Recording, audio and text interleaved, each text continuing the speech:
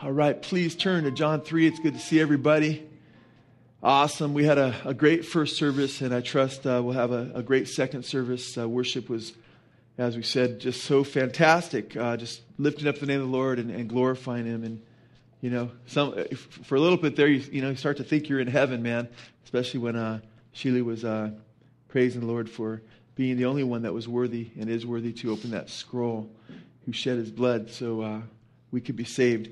In John chapter 3, uh, last week I had a message uh, called Born What? The question mark. And this is part two of that message Born What? Question mark, born again, exclamation point. And uh, I wanted to deal with this at least a couple times because uh, Jesus stated emphatically, You must be born again to enter the kingdom of God. And last week I shared with you uh, that a couple days prior to that, a couple gentlemen came up to me and they just, you know, they just asked me, you know, is it you know, they asked me if I was a cop first for some strange reason. Then they asked me what I did for, you know, what, what my career choice was, and let them know that I was a, a, pastor of a church, and and that we embarked into a very, you know, 45 minute or so uh, talk about faith and religion and what have you. And uh, Josiah was with me, and we had a great chat with these guys. And uh, we, as we talked to them uh, the guy was wanting to hear a lot about my opinions. And when I'd quote the scripture and say, this is what Jesus taught, he would usually say, often say, I should say, no, really, I don't want you to quote the Bible. What's your gut? What do you feel? I want to hear your gut, you know. He'd been drinking a little bit, you know. And I was trying to tell him my gut is not worth anything. You know, you want to hear the word, you know. And opinions are just that opinions, but we've got the living truth. And as we talked, and I shared with him uh, the importance, the need for being uh, born again, uh, and how God had changed my life, and that I was lost, but now I'm found. I was blind, but now I see. Uh, he said, Oh, I've heard that before. I've heard people that a lot of times talk about how they've been born again. And, and, and you know, and usually, you know, they were drug addicts or drunks or, or whatever. Their lives were messed up. And then they said that God changed their lives. And isn't that kind of, what is that? Isn't that like just you change from one thing that you're into and you just kind of change focus to God? Is that what that is? And, and what have you? And he had a Catholic background. I mentioned that last week, so I won't get into depth into my discussion other than to say that I emphasized to him that it's not religion that saves you. It's not rituals that save you. It's a relationship with the living God. And that being born again is not something to be trivialized, but it actually speaks of a profound spiritual experience that you must have if you are to enter heaven. And as I began to share the two roads, the broad road and the narrow, the one that leads to destruction, the one that leads to life, he got really scared at that point and, and, said, I don't think I'm getting in, you know, because he was talking about everybody makes it kind of thing. And I started sharing scripture with him, and it was a scripture that had an impact on him. But I let him know that he needed to be born again and that it was not my words. It wasn't some, uh, something I or somebody had made up where we attached, you know, this to a version of Christianity, you know, that, well, we ascribe to this version of Christianity that you, you know, you should be born again. That it's Jesus himself that actually taught you must be born again to enter the kingdom of God you see. And, and if anyone is a Christian, they are born again. If anyone's born again, they are a Christian.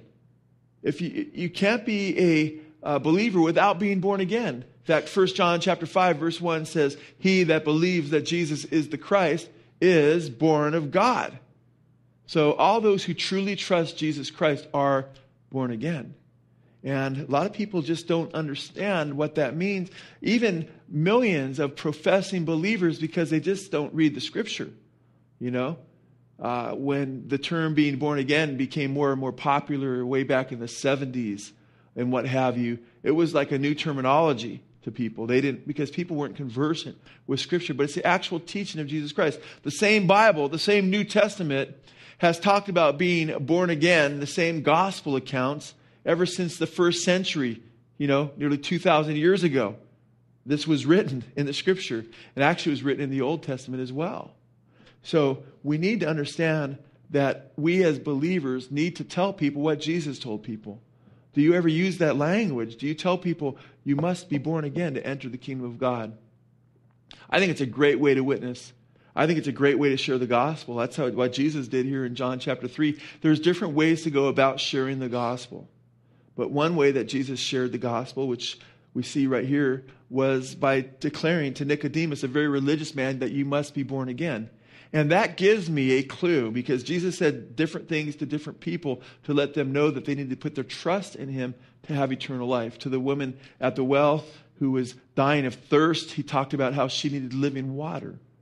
But here to a very religious man who thought that he was going to make it with God into heaven by pulling himself up by his own bootstraps, here we see something quite different.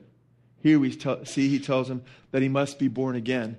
And this is a very, very good way to t- speak to people who feel like they're religious and they're going to heaven, whether they're involved in the New Age movement, whether they're involved in uh, ritualism, and that's so much of it that's found in Catholicism, uh, what have you. There's various people, not just Roman Catholics, but there's all kinds of Protestants that do the religious thing but haven't truly been born again. There's a need to be born again. And, and I'm not going to go through every verse. Last week we went through verses 1 uh, through, I think, like through 21. And uh, we're just going to cover a few verses in John chapter 3, but we're going to go to other verses in the scripture as well and get a little bit deeper than we did last week in this message. And in chapter 3, verse 1, we read Now there was a man of the Pharisees named Nicodemus, a ruler of the Jews. This man came to Jesus by night and said to him, Rabbi, we know that you have come from God as a teacher. For no one can do these signs that you do unless God is with him. Jesus answered and said to him, Truly, truly, I say to you, unless one is born again, he cannot see the kingdom of God. Nicodemus said to him, How can a man be born when he is old? He cannot enter a second time to his mother's womb and be born, can he? Jesus answered, Truly, truly, I say to you, unless one is born of water and the Spirit, he cannot enter the kingdom of God. That which is born of flesh, of the flesh is flesh, and that which is born of the Spirit is spirit. Do not be amazed that I said to you, You must be born again. The wind blows where it wishes, and you hear the sound of it, but do not know where it comes from and where it is going. So is everyone who is born of the Spirit. And then it carries on, and we looked at the other verses last week as well. But I pointed out a few things to you last week about Nicodemus that I think are important to keep in mind. Is that Nicodemus, uh, first and foremost, was a very religious man. He was a Pharisee. It says that in verse 1. The Pharisees were one of the prominent Jewish sects, religious sects of the time. Last week we got into some depth as to what the Pharisees were about, so I won't say much about that other than to say they were the most religious uh, sect as far as the custodians of the law are among the most religious of the first century. And they exist with us to this day. Even though in the first centuries you had the Zealots, uh, as far as Jewish sects goes, the Hellenists, the Herodians, the, the Sadducees, the Essenes, and all these different uh, groups, the Pharisees exist with us to this day in Israel. You see, when we ministered to Jews uh, last time we went to Israel, some identified themselves as Pharisees.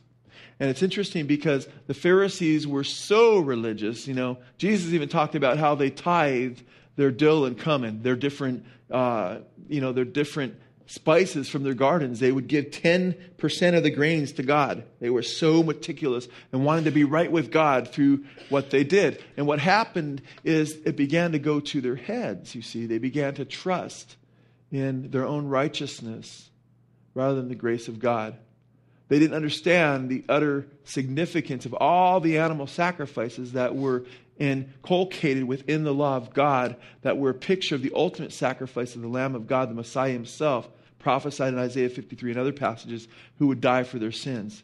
They separated, uh, uh, you know, they began to look at the law and began to become proud. You know, they were proud of their long robes, their phylacteries. They'd, you know, have the scripture, you know, uh, wrapped around their head, literally boxes. You see this in Israel this day with some of the Orthodox Jews with the scriptures in, on top of their head, you know, walking around with the scripture. Because the Bible says, hey, you know, write the scripture on the tablets of your heart, right?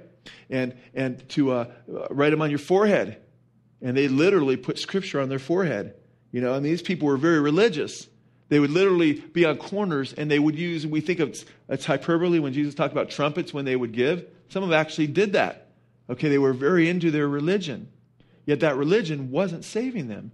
So Nicodemus was a very religious man. Uh, he was only religious, but he was a ruler of the Jews, as we read in verse 1. And the ruler of the Jews were, uh, there were less than 100 members of the Sanhedrin, and, or the Sanhedrin, which was a Jewish group of kind of like the Supreme Court in America today. They were like the Jewish Supreme Court. So he was a religious man, very religious. He was one of the rulers of the Jews. He was rich. We know that from John chapter 19 because he's the one that took care of Jesus' burial, which would cost a fortune, uh, and with the spices and everything that were used. And we also know in verse 10 that he was a rabbi, the teacher of Israel. Not just a rabbi, but the rabbi of Israel, either the most prominent or one of the most prominent rabbis at that time in the early part of the first century. Having said all of that, he wasn't going to heaven. Didn't matter how religious he was, it doesn't matter how religious you are. It doesn't get you to heaven. Didn't matter that he was a person of authority, he was a ruler. Didn't get him to heaven. He wasn't going to heaven because of that. Doesn't matter your position in society. Didn't matter that uh, you know he was rich, because Jesus says harder for a rich man to get in the kingdom of God than it is for a camel to go through the eye of a needle. Money's not going to get you in the kingdom of God. That's not going to, you're not going to buy your way to heaven. He couldn't get in that way. Didn't matter that he was a rabbi, that he was a teacher. Being a teacher doesn't get you into heaven. In fact, it says in James chapter 3, verse 1, uh, let not many of you seek to be teachers, for a teacher shall incur a stricter judgment from God. So being a teacher doesn't get you into heaven. You must be what? Born again to enter the kingdom of God. Because along with those four R's, you know, being a rabbi and being a, a ruler and being rich and, and you know, uh, being religious, he was one other thing that banned him from heaven. He was ruined. He was a ruined man. And we talked about that last week, but I want to spend a little bit more time instead of on those first four R's, that last one, and then a little bit more about the relationship that he needed to find with the living God. See, he was a ruined man. The Bible says the heart is what? Deceitful above all things and desperately what? Wicked. Who can know it? That's the human condition. The human heart without God, without being transformed, left to itself, is ruined. It's because we were created upright, it says. God created, when He created man, He says, He didn't just say He was good, He says He was very good. And it says in the scripture in Ecclesiastes, God made every, you know, made us upright. We were made upright. But then when mankind rebelled against God, which is what we call original sin, when man turned away from God and sought to do his own will, he became a rebel. We became a race of devils, so to speak. The word devil in the Greek is uh, the word, word means opposer, one that's opposed to God. Actually, the word Satan means opposer, the word which is the word Satanas or Satan. But the word uh, uh, that we get devil from, diablos, is, speaks literally of a slander, an accuser, you see. And what happened is we followed Satan's rebellion. Satan manifested that rebellion among the human race. The scriptures tell us that Satan is the one who sins from the beginning, 1 John chapter 3 and that he was a he was a murderer from the beginning. There's no truth in him, but he led the first humans astray, and humanity has each of us, the scripture says, has gone to his what own way, right? Each has sought his own path.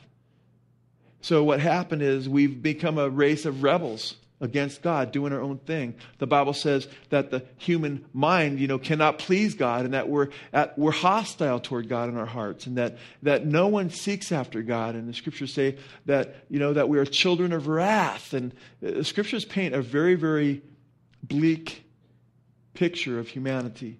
And uh, Jesus was very, very clear that even the most religious people of the day, even the Pharisees, were not going to heaven. Nicodemus was not going to heaven in his own primitive, fallen state. In fact, Jesus said to his disciples, Unless your righteousness exceeds the righteousness of the Pharisees, you shall by no means enter the kingdom of heaven. So and that must have just, I, and I've mentioned that before because that must have just blown them away. Because keep in mind, it was like the Pharisees, it's like, man, these guys were holier than thou. They were the most religious folks around, man. So if these folks aren't going to make it to heaven, how in the world are we going to get to heaven? And then Jesus said, your righteousness has to exceed their righteousness. That must have blown them away. But guess what? Because the Pharisees could not enter the kingdom based on their what? Their righteousness. In fact, look at what Jesus said about the Pharisees. Turn please to Matthew chapter 23. And Jesus had a lot to say about the Pharisees, and he, he, because a lot of people were trusting in the Pharisees' righteousness or trying to emulate them. And Jesus said, because the new covenant had not yet been inaugurated through Christ's blood, so he says in the beginning of Matthew 23 to obey them as long as they're speaking from the law of Moses at that point. But he goes on to talk about from verse, verses, the first couple verses onward, he's talking to the crowds and the disciples, verse 1. He's talking about the Pharisees sitting in the seat of Moses and, and, and so forth. But he goes on to talk about how, even though they're teaching the law of Moses, how they're failing to keep the law themselves and how they are not heaven bound, but hell bound. In fact, pick it up at verse 13, where he begins to talk about the eight different woes, the eight different judgments on the Pharisees. He says, But woe to you, or judgment to you, scribes and Pharisees, hypocrites, hypocrites, because you shut off the kingdom of heaven from people. For you do not enter in yourselves, nor do you allow those who are entering to go in. Did you see what he said there? First, he called them hypocrites. Hypocrites. And hypocrites, that was a, a, word used in Greek theater of the day for those who would take a mask, an actor who would put a, a mask on. And you've seen the, the, the symbol of theaters, theater to this day, right? Those two masks they put together. Well, that comes from the Greek theater where they'd put a mask on and then they'd go out and act out the character of the mask that they were wearing. But they would obviously be acting something far different than they actually what? Were. And Jesus was letting us know, letting the people know in the first century, that the Pharisees, even though they wore this huge religious mask, were not in truth following the Lord. Were not truly born again. They, they didn't know God. They were involved in rituals, yes. Religion, yes. But a relationship with God, no. In fact, Jesus said of them, they draw close to Him, and they quoted Isaiah, that they draw close to the Lord with their lips, but their hearts are far from Him. You see, what they needed were new hearts. Now, they were seeking to keep the law, but they were keeping the law, and the efforts in which they were seeking to keep the law were founded upon or based upon their fallen hearts. They didn't have new hearts. They needed a miracle from God. They needed to be made anew. In fact, that may, there may be people here today at Blessed Hope Chapel who are doing religious things and trying to live a religious life, but you haven't had a changed heart. You haven't, uh, you haven't surrendered your heart to Jesus and asked Him to come into your life and make you anew, to give you a new heart. You haven't been born again. Your trust is not in Jesus for your salvation. And you need to be born again because the Pharisees were the most religious of the religious. Paul himself, the Apostle Paul, before he was transformed and born again, he was called Saul and he was having Christians killed. And he was a Pharisee of Pharisees, he says. He was a very religious man. I mean, Paul was like a blow mind. You look at his life and you say, wow, what a religious man. Circumcised the eighth day from the tribe of Benjamin, you know, as to the law in his own eyes, blameless, you know. Seemed like it had it all together. But Paul said he was a violent aggressor. A violent aggressor who was having people killed did you know that? Paul talks about how he would even take people, he'd go to their homes, if they were professing Christians, he'd have them dragged out of their homes, and he'd make them blaspheme the name of Christ or have them killed. Paul says he was causing people to blaspheme. Yet Paul thought he knew God. He thought he was so religious. He was doing it in the name of God, persecuting Christians. Yet Paul came to realize and called himself the chief of sinners. And he said, when he called himself the chief of sinners, that is for this reason that Jesus Christ came to save sinners, of which I am the chief or the foremost. And then Paul gave his testimony. He said that God saved him and had mercy upon him so others could know that if they would come to Jesus, they too could be saved. See, Paul needed to be born again. Nicodemus needed to be born again. Look at verse 25. Look at what Jesus continues. We're just, we're skipping most, almost, you know, over half this chapter because he says so much about the Pharisees. But in verse 24, he calls them blind guides who strain out a gnat and swallow a camel, you see. They'll strain out from their drink a gnat because a gnat would be an unclean food to eat. Man, I got to strain, make sure I don't eat a gnat. I'll eat something unclean. I want to keep the law. Yet they would swallow a camel. They had missed the main point. Jesus spoke of mercy and righteousness and justice that they left out. It wasn't in their hearts. In verse 25, he says, Woe to you, scribes, Pharisees, hypocrites, for you clean the outside of the cup and of the dish, but inside they are full of robbery and self indulgence. You see, the Pharisees looked very, very clean on the outside. You know, they looked very, very religious, but inwardly they were filled with robbery. He talks about, Jesus talked about how they would devour widows' houses That means if a woman's uh, or a, a, wife lost her husband and was destitute. They didn't have Social Security and they didn't have Medicare and they didn't have all those things then. And then what these Pharisees would often do is they would go take advantage of her and try to get a lot of her money for themselves. You see, these were men that had corrupt hearts that were dressed up in religious garb.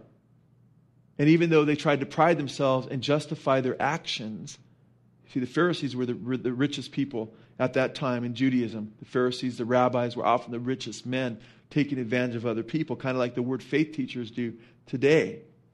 Woe to you, scribes and Pharisees, hypocrites, for you clean the outside of the cup and of the dish, but inside they are full of robbery and self indulgence. They're living for themselves. Verse 26 You blind Pharisees, says Jesus, first clean the inside of the cup and the dish, so that the outside of it may become clean also. You see, the inside needed to be clean.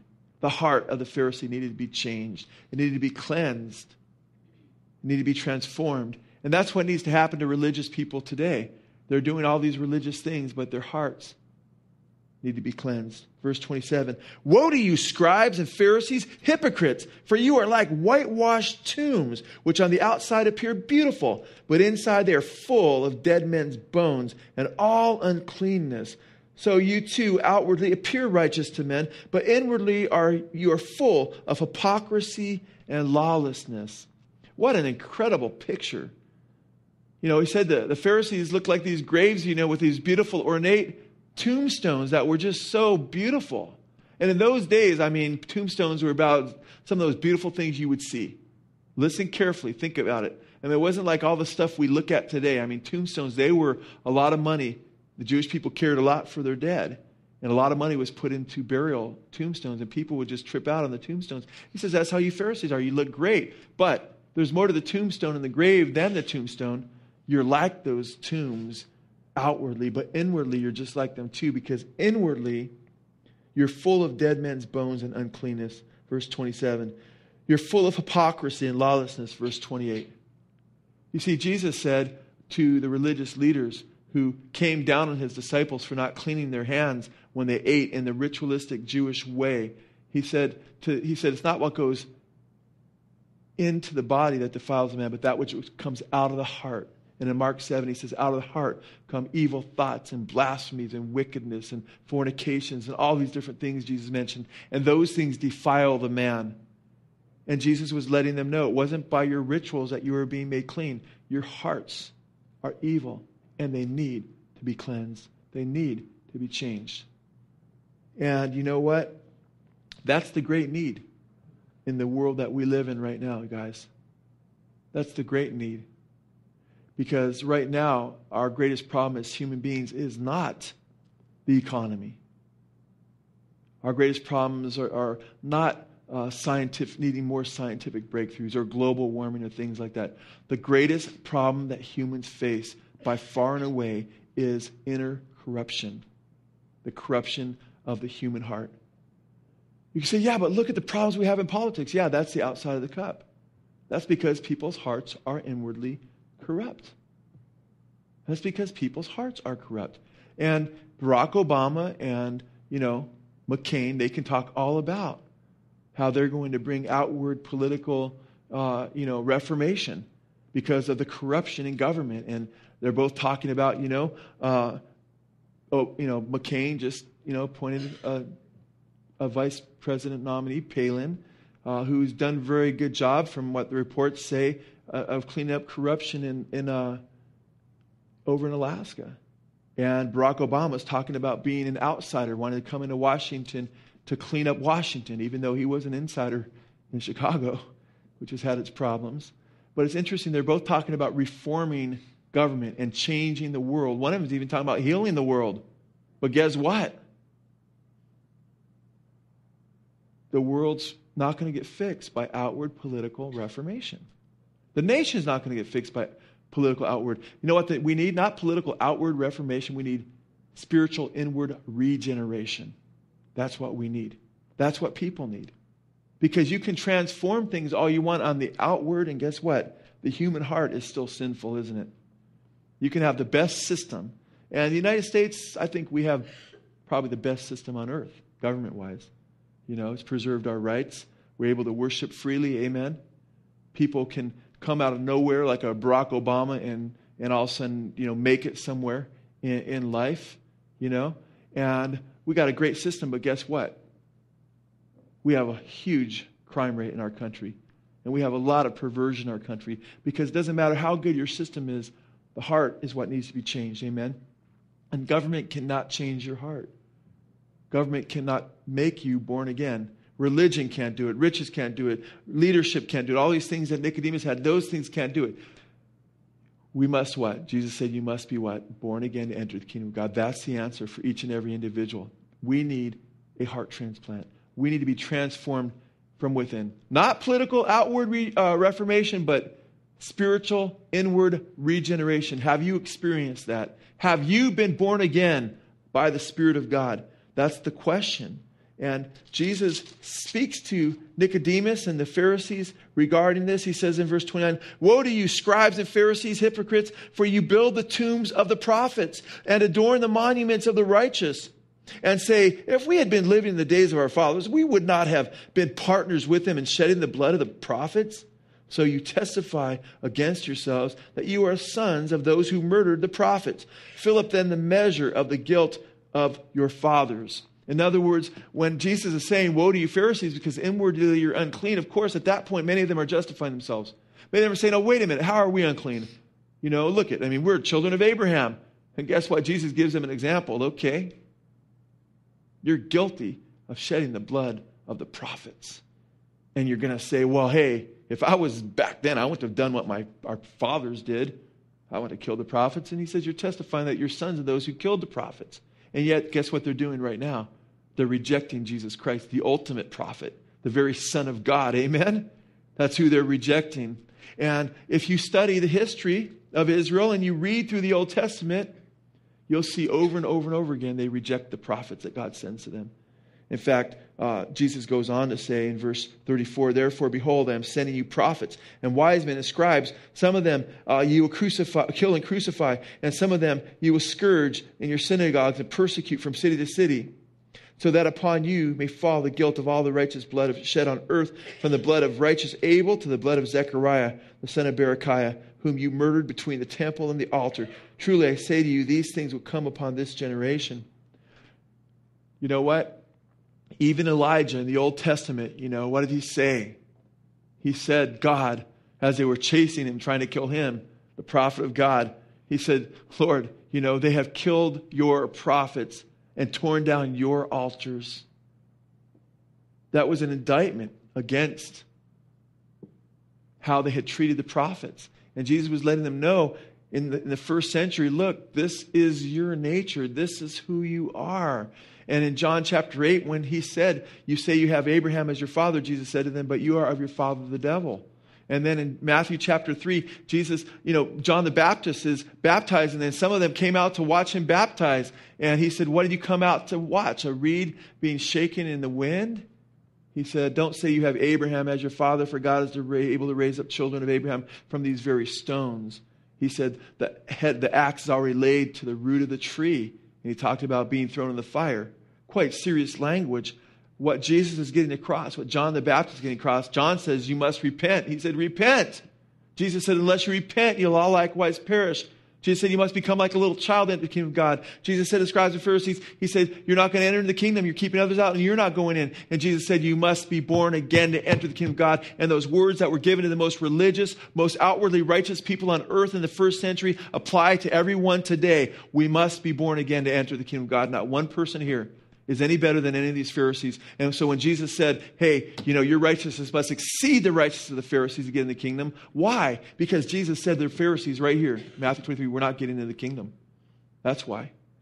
Well, then, then how do I become more righteous? Then I got to tithe better. I got to not give 10%, I got to give 11%. I've got to do that. No, no, no, that's not going to do it. You're good. It's not about what you can do. It's about what God needs to do to you. It's about the fact that we need to be born again. We need to be changed from the inside out. We need a miracle from God because it can't be about outward reformation. We need inward regeneration. That's why Jesus said to the, the Jews in the Old Testament, He said, the leopard, you know, can't change his spots. He said, Neither can you who are accustomed to doing evil change the way you are. We cannot, through self effort,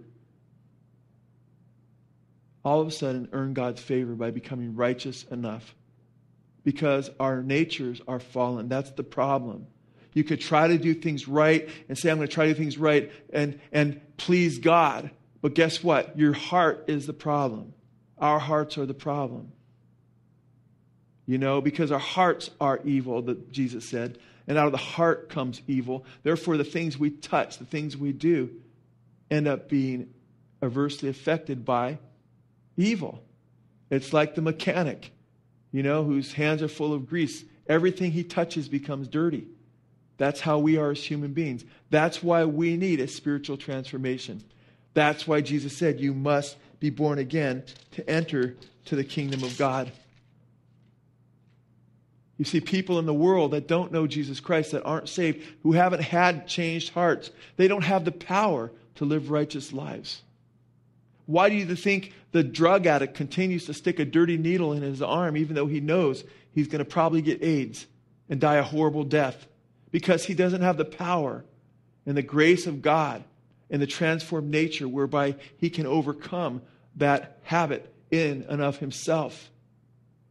Oh, what about the drunkard? How come the drunkard continues to hit that bottle and continues to get drunk, even though he knows it's going to cost him his family? How come? Because he hasn't had a transformed heart. Or how come the gambler continues to gamble even though he knows he's going to lose his home and he'll just spend that last cent and go into incredible debt? Because that heart has not been transformed or he's not relying upon uh, the power of God. Or how come a thief will continue to steal even though he knows he's going to end up in prison? Or the sexual pervert will continue to commit adultery or fornication or get involved in sexual perversion even though he knows it's going to destroy his marriage because he needs a changed heart. He needs to turn and submit to the one true living God and allow God to change his heart because the Bible says that we are hostile in our minds toward God until we're born again. And that we cannot be subjected, Romans chapter 8 says, to the law of God until there's a transformation that takes place in our lives. You can say, oh, but I know this one guy, uh, he, you know, he got off of getting drunk. I mean, he went to AA and he's not getting drunk anymore and he wasn't born again. Well, guess what? You may be able to stop a habit, but it's like plugging one hole in the dike only to watch three other holes open up. That's why I think Bill Wilson, who started AA, is a great example.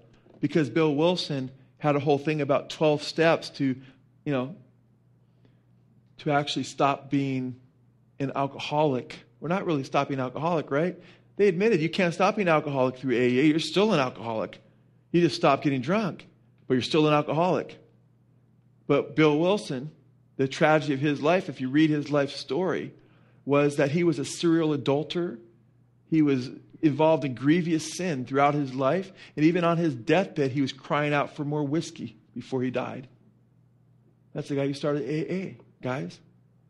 Because AA or AA does not bring, Alcoholics Anonymous does not bring a transformation of the heart. That's why in AA they'll say you're still an alcoholic. You just gotta, you gotta keep coming here. But guess what? I read in the Bible, man, in 1 Corinthians 6, be not deceived, neither, you know, the unrighteous will not inherit the kingdom of God, neither drunkards, adulterers, you know, effeminate, homosexuals, thieves, revilers, extortioners. It gives this huge list. It says, will not inherit the kingdom of God. But then it says, and such were some of you. You see, such were some of you. You aren't still an alcoholic. If you're trusting Jesus Christ, you don't need to go to the AA meeting say, I'm an alcoholic and da da da da. That, that's one step away from getting drunk again. Because you come to Jesus and you truly surrender to Him, He gives you a new heart. Now, you have to make sure you don't allow that old man to rise up in your life. But so long as you keep that old man, reckon him dead, right? That man you used to be, and you live in the power of the Spirit, you are an overcomer. You are a victor. You are a former alcoholic. Amen. You are a former pervert. You no longer you don't go around saying I'm still a sexual pervert. I'm, I'm one step away from you know you know leaving my wife and kids. No, you can be a new person in Christ Jesus. You know, you don't have to walk around saying, I'm still a thief. I'm still going to rob banks if I get the slightest chance. No, you could have, that can become your past where it's not something you even think about anymore. Amen? Where you walk in the Spirit. Because being born again brings a total transformation of the life. In fact, you know, the recidivism rate in AA is quite high. A lot of people go back. And I've been to a couple AA meetings. You know, uh, when I first met Lisa or started, we started fellowshipping together, she's a new Christian. Uh, she was in AA and NA and CA. she was in all those groups. And, and I told her all she needs is Jesus, you know. But I went to a couple of her meetings, and it was like people, I just uh, went back and got drunk again. And you hear this over and over and over again, you know. And, you know, oh, and I have so many, I have so many years but they're, you know, you go in there, you think there's a fire, you think you need to call the fire department, man, there's just smoke billowing out the doors, you know, and people with the worst kind of language, and everybody's sleeping with everybody. People need to be born again, is what needs to happen, guys. In fact, you know what? The recidivism rate in Teen Challenge, they have an 86% success rate in Teen Challenge. Blows away AA. Why? Because they take some of the worst drug addicts in Teen Challenge, far worse than you'll often see in AA and they'll have such radical transformation because in Teen Challenge, they have such a great success rate. Why?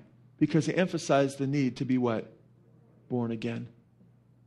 I've met, met many, many, many. In fact, we've helped Teen Challenge, our uh, fellowship has to a degree uh, in, here in Ventura County. Uh, we've given them our videos to use and what have you. We've met so many people that have been transformed by the power of Christ that have the most incredible testimonies.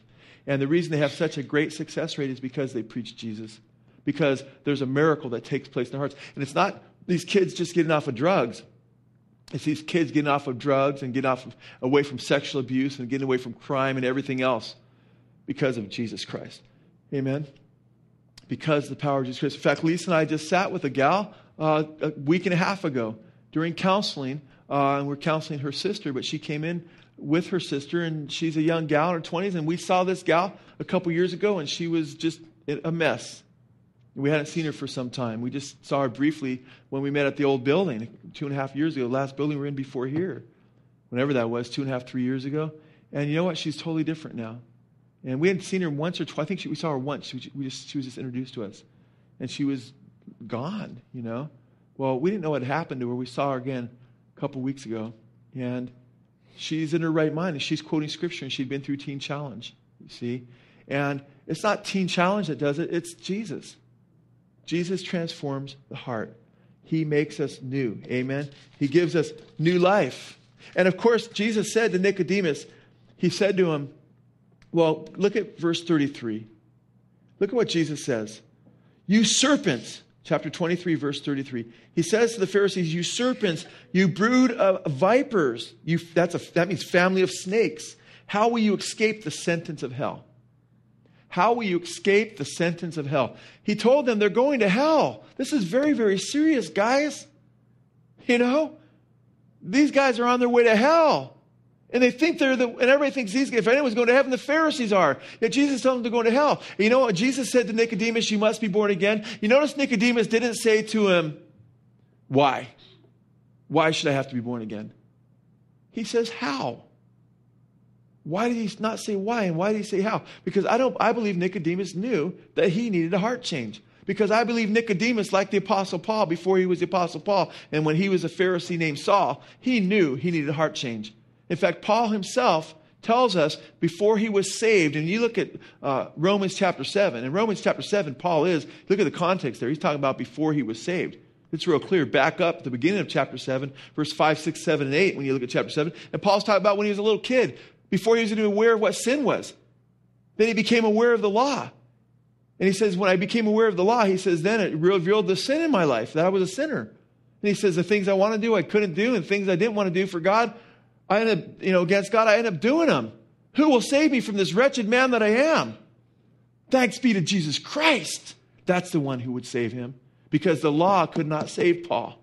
The law continued to show, show Paul that he was a rotten sinner, that he was blowing it, that he needed God's grace. And that's why he cries out, Wretched man that I am, who will save me, you know, from this body of death? And that's why Paul in Galatians chapter 3 said that the law is a tutor that shows us and leads us to Jesus Christ. It reveals to us our sin. But the law does not have the power to make us new.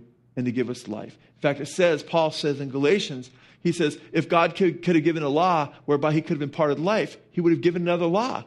But righteousness doesn't come through the law. It shows us what God's standard is, but it doesn't make us righteous. It shows us that we're sinners. In fact, look at Romans chapter 3. Romans chapter 3. And Paul does an incredible job by quoting various passages and verses from the Mosaic law, or I should say from the prophets who indict the Jewish people for breaking God's holy law. And in Romans chapter 3, he quotes verse after verse showing man's depravity.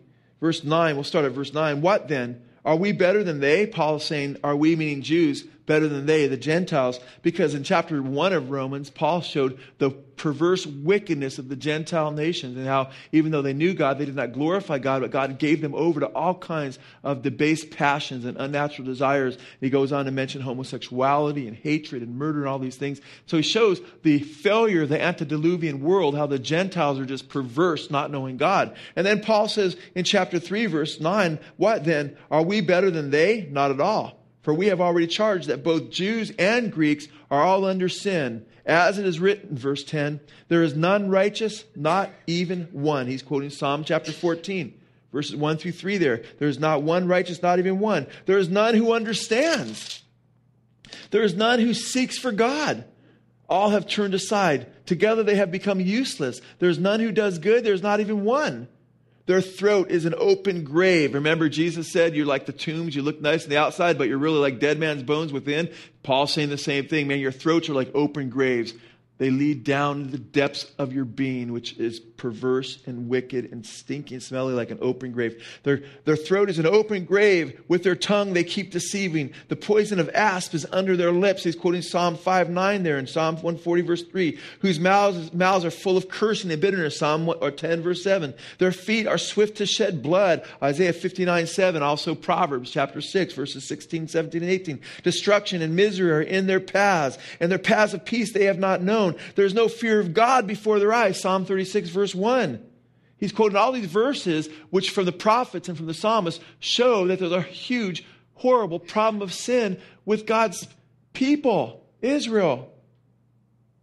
Verse 19, Paul says, Now we know that whatever the law says, it speaks to those who are under the law, so that every mouth may be closed and all the world may become accountable to God. In other words, if the Jews are accountable to God because of their failure, how much the rest of the world? If the Pharisees aren't making it, how much more are we not making it on our own? Amen? Verse 20 Because by the works of the law, no flesh will be justified in, this, in his sight. For through the law comes the what? Knowledge of sin. You see, the law was not given to save us, the law was given to show us who God is, his holy standard. And then his standard is be perfect as my Father in heaven is perfect, says Jesus. And as God says in the whole Old Testament, be holy as I am holy. And as it says in 1 Peter chapter 1 and 2, be holy as he is holy, you know. And we can never be as holy as he is holy in our own selves or by our own righteousness. Amen. And we put ourselves up to the standard of God's law and we say, wow, woe is me. I am undone. Even Isaiah the prophet said that of himself. We find out we're in huge trouble. But what happens is people be, that had the law, many of the Jews that had the law, they began to pride themselves. They look, God thinks we're special. He's given us this law. And we're able to keep it. We're able to please Him. And some of them knew they couldn't keep it, and they'd say, But as long as we try hard to keep it, God will forgive us because we're really trying. And guess what? Whether they're being saved on trusting strictly in their own righteousness or God's mercy because they were trying to be righteous, they were still trusting in some way upon their own righteousness. And you have to cast all your confidence not in your own performance or what you can do for God, but in the cross of Jesus Christ. Amen? It's only through Him that we can be saved. And that's why we must be born again to enter the kingdom of God. Now, Jesus said when Nicodemus, Nicodemus again, he didn't say, Why do I need to be born again? He said, What? How? And I believe that shows you where he's at. That's why Nicodemus was there. He was opening up to Jesus to a degree. And last week I explained, you know, why he seems quite open, so I won't get into that here, although he still needed to open up more because we look at what Jesus says to him through the rest of that chapter, which we looked at last week. Nicodemus was open, but he needed to be opened up more. But Nicodemus doesn't say why, because Nicodemus knows deep down in his heart he is a failure, just like every one of us. We have all failed God. He doesn't say why. He knows he's a sinner. He probably had a lot, lot of long nights awake thinking, you know what? I'm a fraud. I'm not perfectly righteous. I need God's mercy. I need God's forgiveness. I need a new heart. And he probably wrestled like Paul did when Paul in Romans 7 said, The things I don't want to do, I end up doing, and the things I don't want to do, or that I want to do, I, I, I don't have the power to do. And Nicodemus probably went through that same wrestling match. So when Jesus said, You must be born of water and spirit, he wants to know how. How can this happen? And then Jesus talked about the blowing of the wind. You know, the wind, when the wind comes, people don't understand where it's really coming from. They don't understand where it's really going. You know, it's funny, the whole, we need to pray about the whole, uh, with Gustav right now, the uh, hurricane that's headed toward our country.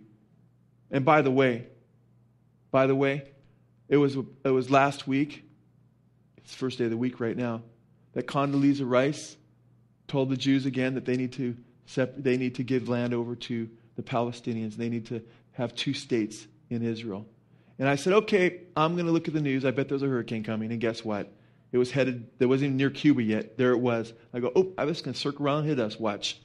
Boom, here it is. And now you might, if you're visiting Blessed Hope right now, I encourage you to listen to a message I did a while ago called Don't Mess with the Weatherman. It's three part series, okay? We have evidence of this over and over and over and over again. You can't dispute it. There's, there's people, uh, man, what's that gentleman's name over in Israel that chronicles all these things? I'm trying to remember his name. Bill, Bill Koenig. That's Bill Koenig. Look at look Bill Koenig up on Google. He was like a Washington correspondent for some time, and he has a, he's done a ton of research on this. Every time we say that, we get blasted. Okay, and I and I share scriptures with you, and you have to you have to you have to talk to God about this because I share scriptures with you where God says when you mess with His nation that He Himself, He Himself shall discipline you with his storms. That's what he says in his word. So I just believe what his word says. Now, is every time something like that happens an act of God because of something we've done to Israel? No. But guess what? I can show you in scripture where oftentimes it is.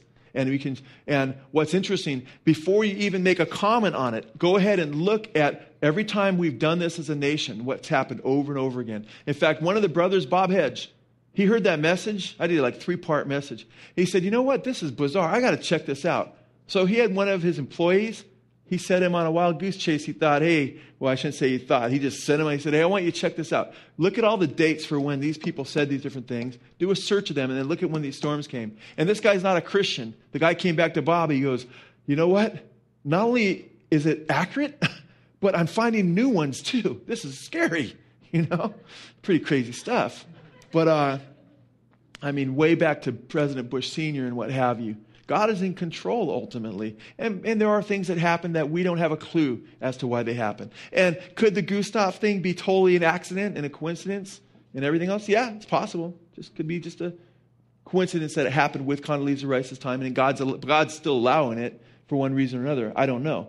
But I just know what God's word says, and it's quite crazy. But I do know that in Ezekiel, when it speaks of wind, it speaks of the power of God often and God can use it to discipline us, but he also, wind can also be an incredibly beautiful force that God uses to uh, recreate. In fact, in Genesis chapter 1, verses 1 and 2, we see something very, very interesting. Let's go to Genesis chapter 1, verses 1 and 2.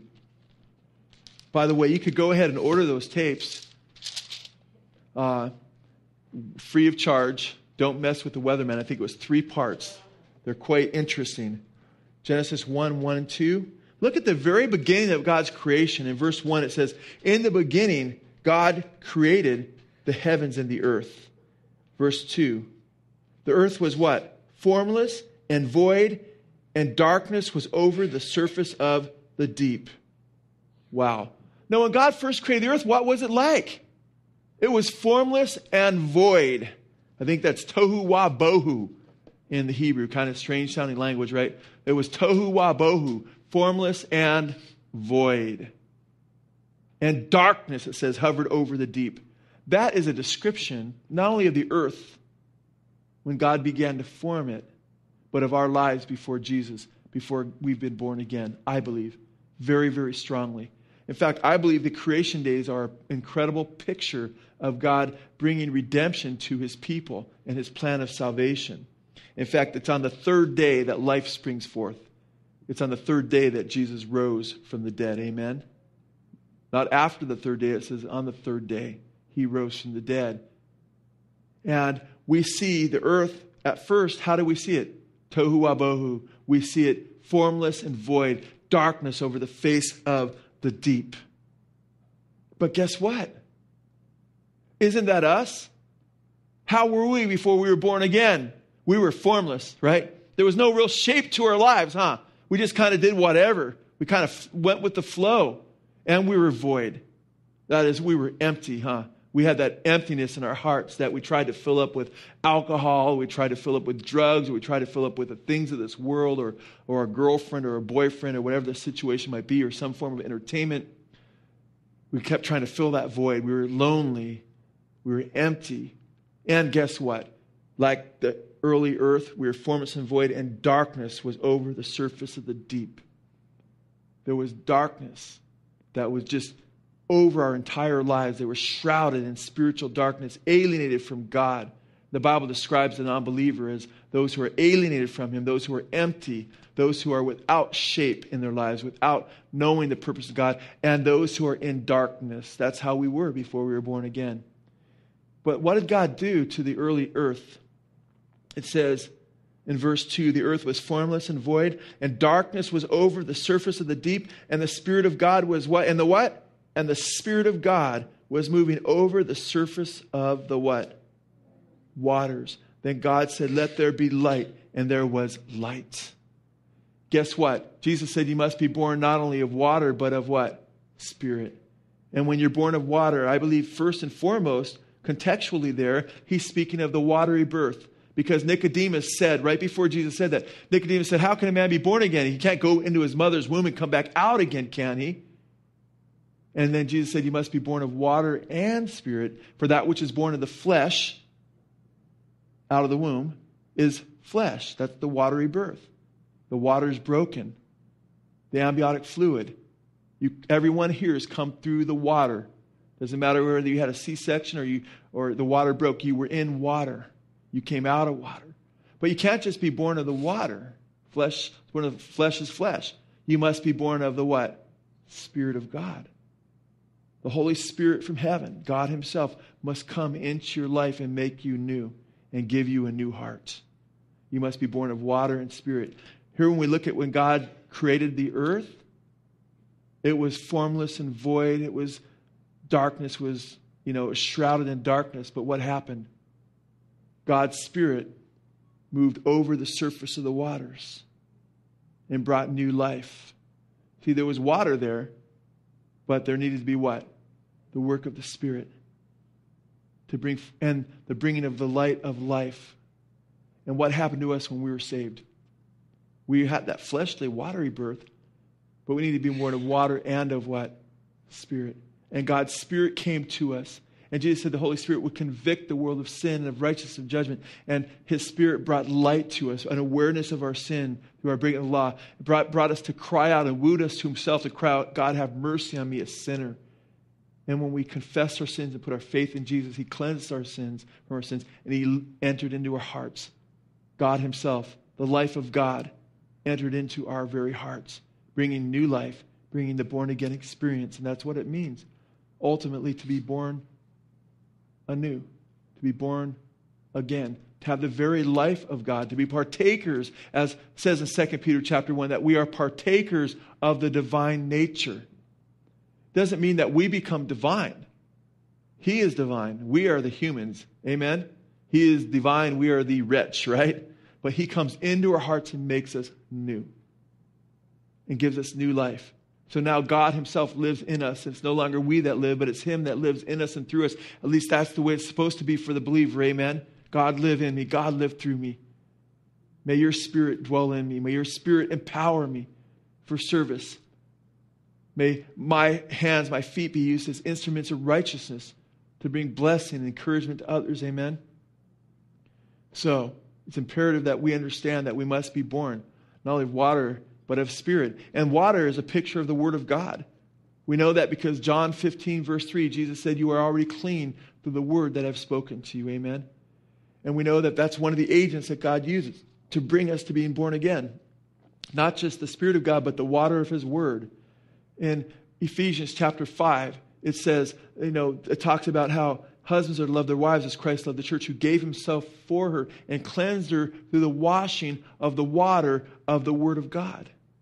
And we know the Word of God is an agent in the born again experience in 1 Peter chapter 1, verses 24 through 26, where it says that we've been born again in 1 Peter, not of uh, uh, corruptible things, but of the incorruptible Word of God. Did you know that? It says that we've been born again by the incorruptible Word of God. So, in that sense, we're born again by the water of His Word, and we're born again of the Spirit of God. We must be born not only of water, but of what? Spirit. Amen? So, as believers, when did we become born again? When the Word of God entered into our hearts and we heard the good news that Jesus Christ died for our sins. Amen. And when we received that Word, we received Him and we embraced Him through faith. Faith comes by hearing, and hearing by the Word of God. And he that believes, when the faith comes by hearing, Romans chapter uh, 10, that Jesus Christ right? He that believes that Jesus Christ died for our sins, right? And he rose again. He that believes that God, he that confesses that he is Lord shall be what? Saved. Actually, it says if he that believes, you know, his heart that God raised him from the dead, you know, he that confesses him as Lord, says he'll be saved. But that's through the word. That's why it says in 1 Peter chapter 2, or 1 Peter chapter 1, verses 24 through 26, that we're born again, not of corruptible word, but of the incorruptible word of God. You see, the incorruptible word is talking about the seed, the seed of his word there in 1 Peter. Let me make sure I'm getting that uh, verse right. Go to 1 Peter chapter 1. 1 Peter chapter 1. I'm going strictly from memory here, but it's a very interesting uh, passage. And when you get there, near the end of your Bible, 1 Peter chapter 1, quite amazing what an experience we have. And it's like the, the it's called the seed, the sperma. It's the seed of his word enters the ovum of our heart. And it's not until our heart embraces the seed of his word that new life, spiritual life, takes place. Chapter 1 of 1 Peter. Yeah, let's uh, pick it up all the way back at verse 22. Since you have in obedience to the truth purified your souls for a sincere love of the brethren, fervently love one another from the heart. For you have been what? Born again, not of seed which is perishable, but imperishable. That is through the living and enduring word of God. For all flesh is like grass, and its glory like the flower of grass, and the grass withers, and the flower falls off but the word of the Lord endures forever. And this is the word which was preached to you. You see, we've been born again by his word. And Jesus said, You must be born of the what? Spirit. So when God's word is shared with us in one way or another, and the Holy Spirit illumines our hearts, the light comes in, right? We were formless, we were void, we were in darkness. The light of God's word comes in, the Spirit of God speaks to us to open up to God, to surrender to Him, to recognize that we are sinners, to recognize that we cannot save ourselves, to recognize that we are doomed without God. And then we come to the end of ourselves and say, God, have mercy on me. And we open up our hearts to Him. It says in John 1.12, as many as received Him, He gave the right to become the children of God. Then we receive the Lord and say, Lord, come into me. Then we become children of God because His seed mixed with faith produces the fruit of new life and God comes into our lives, and the Holy Spirit lives in us, and God gives us a new heart and changes our hearts. It makes us something altogether different than we were before we had faith in Christ. And that's a miracle, guys. That's a miracle from God. In fact, it's such a miracle, it's far different than somebody going to an AA meeting. Well, I'm going to AA, I stop drinking. That's great, someone stops drinking, but that doesn't save you. In fact, it's such a miraculous experience. I know, and I, I know to this very day, there's people from my past And now I've been saved for some time now, but for years they'd run into some of my past and they could they'd have a hard time believing that I became a Christian because they couldn't understand how I, I could change. You know? Susie shared with me that somebody came to the office or called the office a year and a half ago. This is the same Joe Schimmel that went to Rural High? You know, somebody I hadn't seen in years and years and years. I can't believe that that guy's a Christian now, you know? Where people that know me now and don't know me before I was a Christian, and somebody tells them a story about me in my past, it's hard for them to believe. Joe did what? You know? Same thing's true of you, isn't that true? If we knew about your past, and a lot of us were like, what? You know? And people from your past would have a hard time seeing that you singing praise songs to Jesus now, you know? Because it's such a transformation, it's a miracle that takes place. In fact, last uh, service, the very first service, I was tripping out because, you know, I was talking about being born again and how the Lord changes our hearts and how, you know, my heart was just messed up, man. I had a dark heart before I was saved. And, and you know, God saved me. And, and there I saw, you saw my mom who wasn't saved. I saw my brother Tom was sitting over here. I saw my sister Kathy. And I saw Peggy and Patty were sitting on this side. Three of my sisters, my brother, my mom, and, and myself. And, you know, we're all changed. If you knew our family before we were saved, it was, you know, everybody's going in different directions. You know, we didn't have a unity in Christ. We didn't have uh, you know, we, if I would have kept going the path I was on, I was a very destructive person. You know, I'd probably be dead. I, and I don't, I don't, say that. You hear that? People say that. That's probably true in my life. Or really messed up. Steve could say it. Hardy, amen. 25 years later, if I kept that route, man. Yeah, he's saying amen over there. I would be messed up. He was a good friend of mine back then. He, we were both pretty lost, you know. But Tom, you know, even and if I after I got saved, I mean, Tom was going to bars and he was kind of following in my footsteps with brawling with people and everything, and you wouldn't know that about Tom in the past. You got saved, you know. Sister Kathy, you know, trusting in her own self and, you know, what she was doing in society, but lost in a broken marriage, and boom, she was saved, got saved out of that, man. Peggy, and she was a coke fiend and everything else. I mean, she was a bad girl, got saved. Patty, Patty, she was lost too. I'm going to be mellow on Patty right now because she sometimes takes the brunt of the, the jokes sometimes, but she was lost. And, and, you know what? Now I trip out. God's changed our hearts. We just all love the Lord. We love our brothers and sisters in Christ. We love each other. It's the, it's the miracle. It's the power of Jesus Christ, you know? And my mom, I mean, she was, she's, well, before she was saved, yeah, she's always been, seen, you know, a nice lady and stuff, but she had her own hangups like everybody else. She needed Jesus. God's changed our hearts. That's the miracle of God. Only God can do that. It's not religion. You see, before I was a Christian, we had religion. I was brought up going to a Catholic church, you know, catechism and stuff like that. But I'd come home from church as a little kid, you know.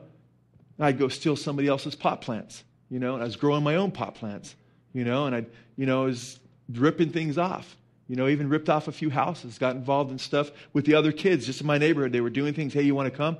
Kind of afraid at first, and all of a sudden you start doing these things. And you have guilt, like, that was wrong. You know something's wrong with you, but you kind of just go with the flow, and before you know it, man, you're just so lost. But everybody was lost, I knew. Even people that were religious. And then I think it was like sixth, seventh grade, man, my parents even stopped going to the Catholic Church. And I had my, I was very anti God. I thought Christianity was a joke. I was so lost. If I was left to myself, if God did not knock on my heart and enter into my life, my life would have just been worse and worse as time went on. I wouldn't have a family. I, I wouldn't have been faithful to my wife. You know, I'm just saying, i would be your typical man out there without Jesus. And but but God's given me a new heart, and that's through what? That's through being born again. Because the Spirit of God lives in me. It's not about a religion, it's about a relationship with Jesus Christ, Him living in us. And you know what's so awesome? about being around my brothers and sisters in Christ, because we have a very sincere fellowship here at Blessed Hope, is seeing how many people in our fellowship, seeing all these people that are born again. I'd rather be around my brothers and sisters in Christ a thousand times to one or beyond that than with non believers. No doubt about it. I remember my sister Peggy, it just sticks in my mind. I shared this before because it kind of stunned me. She said, You know what? When you first got saved, she goes, I used to feel sorry for you. You first got saved, and all of a sudden, and it took me a while before I found a Christian church. She goes, but then you started getting up and going to church, and and uh, and I started thinking, poor guy, you know, he has to go to church on Sundays and we get to sleep in. And she said, and then I got saved. And then I thought, wow, this is what I've been missing. You know? And we're thinking, poor them. They wake up with a hangover and messed up, and who knows how many fights they got and what kind of bills they have now and everything else that's messed up in the world. And that's the way it really is because we were there. But they haven't been where we've been until they actually are born, born again. Amen? Then we come to know Jesus, and our lives just totally change, you know? And it's amazing. And because it's like, she was blown away. She was like, wow, because you don't, because keep in mind, before she was a Christian, when we were in elementary school, we went to a Catholic church and it was just dead religion. But now that we know God, we realize it's not about the building and theatrics and rituals. It's about knowing God and loving God with your whole heart, soul, and strength, loving your brothers and sisters in Christ, growing together, fulfilling the mission He's given us of reaching the lost, and glorifying Him with our hearts and our songs. Amen. And living for Him and being a blessing one to another. And what a rich life it is. How could I bring my children up in anything else other than knowing Jesus? Amen. And the life they can have in Christ. It's like a deaf man. I was like a deaf man when I first got born again, who didn't realize he was deaf until I realized at the end that I was spiritually blind and spiritually deaf. And then it's like my your ears open, and all of a sudden you just start hearing the hallelujahs and the praises and the worship of God. And I remember my first time stepping into a worship service where people were lifting their hands singing those old 70s hymns and early 80s hymns, you know, like Seek ye first the kingdom of God and, and sing hallelujah to the Lord and, and, and humble thyself in the name of the Lord and all these wonderful, beautiful, remember those old choruses, those Maranatha type choruses? And people lifting their hands and the tears began to stream and I began to get a taste of the kingdom of God. And then my eyes were open where everything was now no longer just uh, bleak and ugly, but I began to see the kingdom of God, people, citizens of the kingdom, loving one another, being what God's called us to be. What a glorious, awesome truth. And all of a sudden, I was no longer this blind man, but it's like my eyes, the eyes of a blind man, blind man being opened up in an art gallery, but a living art gallery of the kingdom of God. And what a transformation that was. And what a lie it is when the world tries to beckon us back if we ever say yes to it, because it's such a lie. It's so disgusting and so empty. It's dark. It's void. It's formless. It has nothing for us. Amen? That's why it says, don't go back and be conformed to those things from which you've been uh, saved from, Peter says in his book. So, what a glorious truth it is. In fact, turn to 2 Peter chapter 4. There's a, uh, we're in 1 Peter. Go to 2 Peter. And I know we've, you know, welcome to Blessed Hope because we like to do this. I mean, we've been in John, we've been in Genesis, we've been in 2 Peter, we've been in Eze- uh, Ezekiel, but we've been in uh, First. Uh, uh, now we're in First Peter, we've been in Second Peter, we've been in Romans 3. But that's good for you, amen, because you get to know the Bible. You get to see God's message.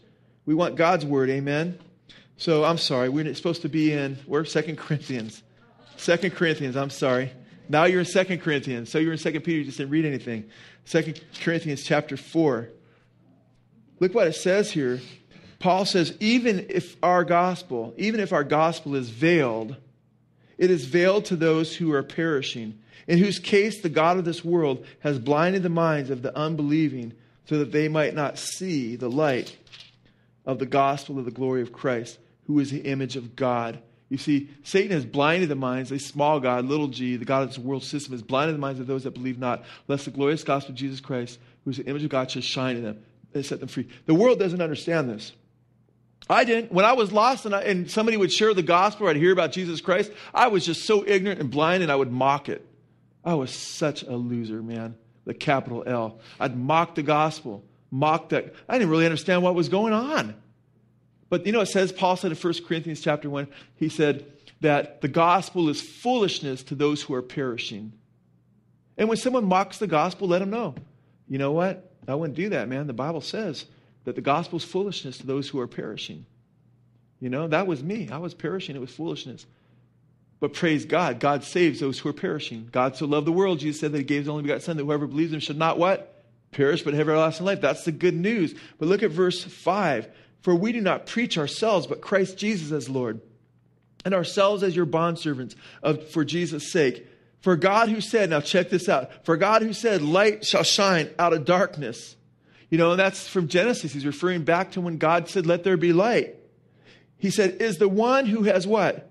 Shone in our hearts to give the light of the knowledge of the glory of God in the face of Christ. But we have this treasure in earthen vessels, so that the surpassing greatness of the power will be of God and not from ourselves. And what's he doing? Remember how I was showing you when God created the earth and it was formless and void and dark, and then the light came and the Spirit hovered over the water, that we must be born again of the Spirit, and that's a picture of what needs to happen in us? Well, guess what? That's not from me, that's from Paul. Paul, right here, is telling us that that's what God did when He created the earth. He brought the light and brought a recreation.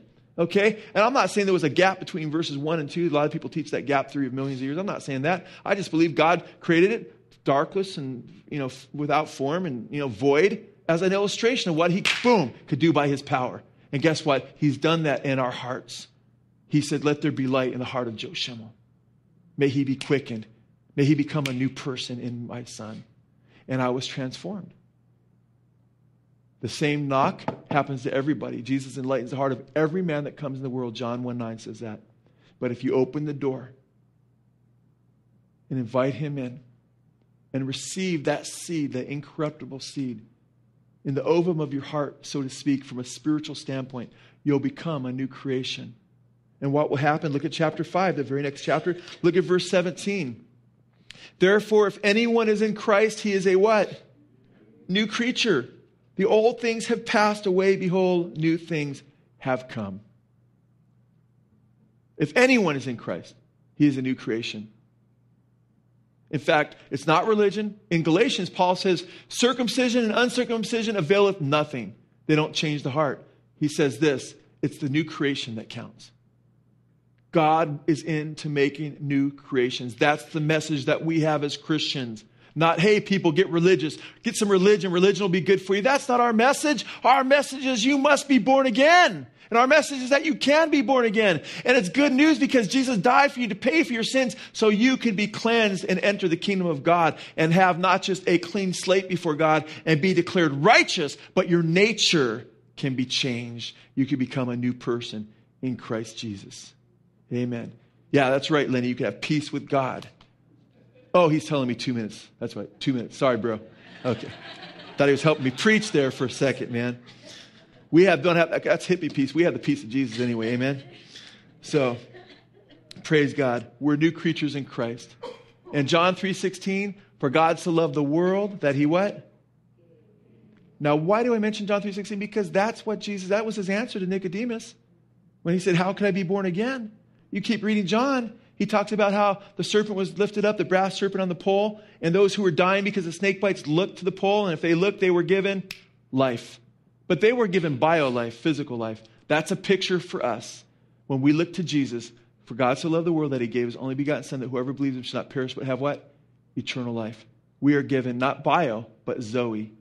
That's the Greek word for spiritual life. We're given the life of God. Jesus is the way, the truth, and the life and Jesus comes to live in our hearts. Amen. John 3:16 and John 3:17. For the son of man did not come to the world, said Jesus. The very next verse he tells Nicodemus to condemn the world, but that the world through him should be what? Saved. That's good news. We have a we have good news for everybody. The angels came when Jesus was born. They said to the shepherds, This is good news for all men. It's good news. It reminds me of the traveler who was sinking in the quicksand. As much as he fought to get out, the deeper he got, he was dying. He was perishing there in the jungle.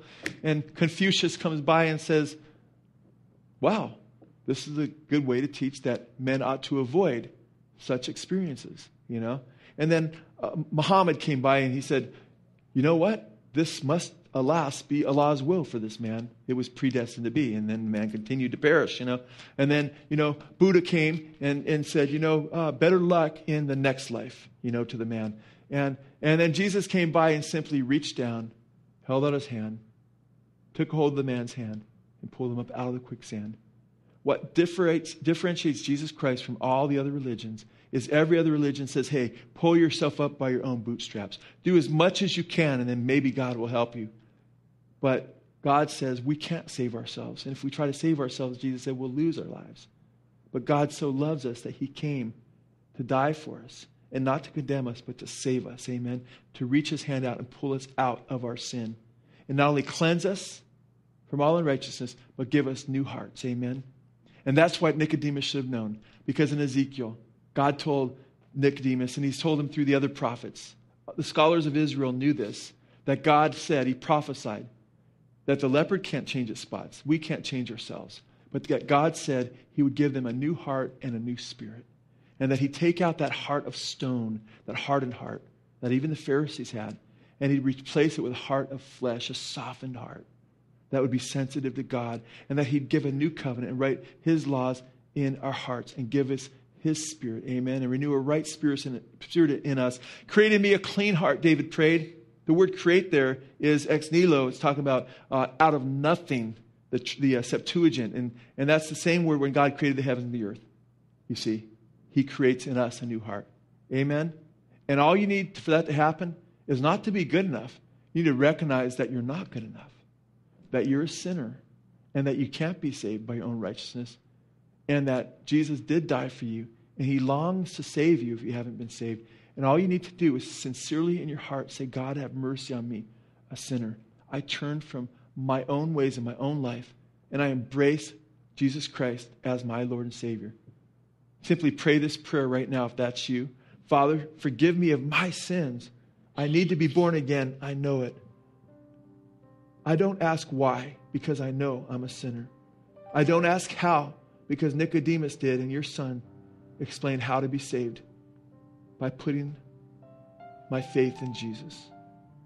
So, Lord, I put my faith in Jesus right now, and I believe in my heart that He died for me and that He rose from the dead.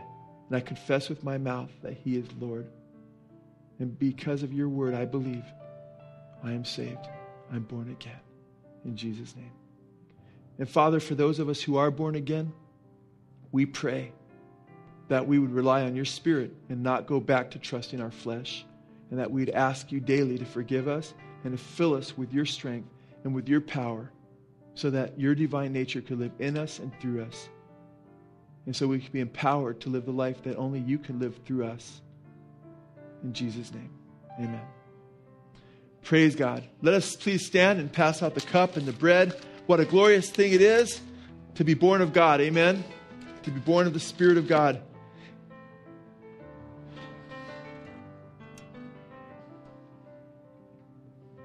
How many of you are happy that uh, you've been born again, that God's changed your heart? Amen. And how many of you rec- praise God, glorify the Lord? We do glorify you, Lord. We praise your holy name. You are so worthy to be praised. Praise God. And you might say, I'm born again, but man, I wish God would hurry up because I need to grow more. Well, guess what? When you look at the Bible, it talks about those who are born of God. It talks about those who are babes in Christ. 1 Corinthians chapter 3, Hebrews chapter 5. Those who are young people in Christ, spiritually, spiritual adolescents, uh, 1 John chapter 2. Those who are fathers in Christ, 1 Timothy, uh, Corinthians, uh, 1 John 2 again. And there's a spiritual growth that takes place in our lives. Amen. And as we submit to God, we grow more and more. But if you're trusting Jesus, you are born again. If you're truly trusting Him, if He's first in your life, not if He's some sidekick or somebody that you give some ambiance to on Sunday morning, but if He's your Lord, you're born of God. How do I know that? 1 John 5 1 says that he that believes that Jesus is the Christ is what? Born of God. If you believe that Jesus is the Christ, you're trusting Him, you're born of God. And how did Nicodemus tell or how did Jesus tell Nicodemus? What, how did he answer him about being born again? For God so loved the world, right? That he gave his only begotten Son, that whoever what? Believes in him should not perish, but have eternal life. That's the life. The eternal life. That's the life of God living in you that you will have forever through faith in Christ. That's what it means to be born again. Amen. Father, we thank you so much for the clarity of your word and the clarity of Jesus' answer to Nicodemus, Father that we're born again through faith in your Son. And we thank you for your forgiveness, Father. And we thank you, Father, that our salvation will not be based on the Quran, which teaches that good works and bad works will be put on a huge scale, and whichever works outweigh the other will get us in or out, Lord. We know in truth that we'd be doomed, Father, because even all of our righteousness is as filthy rags, and everything would be put on the other side of the scale, Lord, and we'd all be doomed. But we thank you, Father, that Christ's righteousness and his life is what merits for us through his death, burial, and resurrection. Your gift, Lord, his work and not ours. For it's by grace that we are saved, Father, not of ourselves. It's your gift, not of works as anyone should boast. Lord, we thank you for your great grace today, your great love for us. We partake of the bread, which so wonderfully represents the simplicity of the gospel, and that your Son, the bread from heaven, gave himself for us on the cross. We partake of it in Jesus' name.